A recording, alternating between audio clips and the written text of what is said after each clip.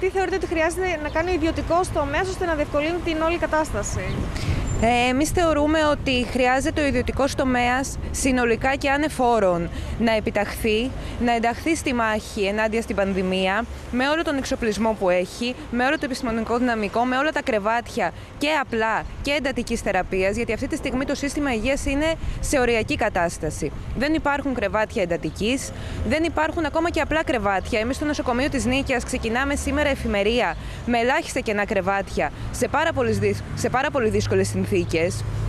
Και αυτό που βλέπουμε είναι ότι η κυβέρνηση με το να επιστρατεύσει ιδιώτες γιατρούς επί της ουσίας ομολογεί ότι τόσο καιρό δεν έχει κάνει τίποτα για την ενίσχυση του δημόσιου συστήματος υγείας, δεν έχει προσλάβει προσωπικό και κάνει μια κίνηση με την οποία δεν λύνει το πρόβλημα επί της ουσίας, γιατί αυτή τη στιγμή υπάρχουν διασωληνωμένοι σε κοινούς θαλάμους. Υπάρχουν ασθενείς μετά από κάθε εφημερία που μένουν ώρες και μέρες σε τμήματα βραχίας νοσηλείας γιατί δεν υπάρχουν κρεβάτια να νοσηλευτούν. Αυτό που ζητάμε, πέρα από την μονιμοποίηση του προσωπικού που έχει έρθει για κάποιους μήνες επικουρικά, είναι όλοι οι συνάδελφοι οι οποίοι έχουν δηλώσει για τις μόνιμες θέσεις, οι οποίοι είναι πάρα πολλοί και φαίνεται ότι όντως υπάρχουν γιατροί που θέλουν να ενταχθούν στο σύστημα σύστημα υγείας να προσληφθούν αυτή τη στιγμή χωρίς καμία κρίση και ανεφόρων. Είναι ζήτημα να σωθούν ανθρώπινες ζωές, δεν είναι ζήτημα θεωρητικό.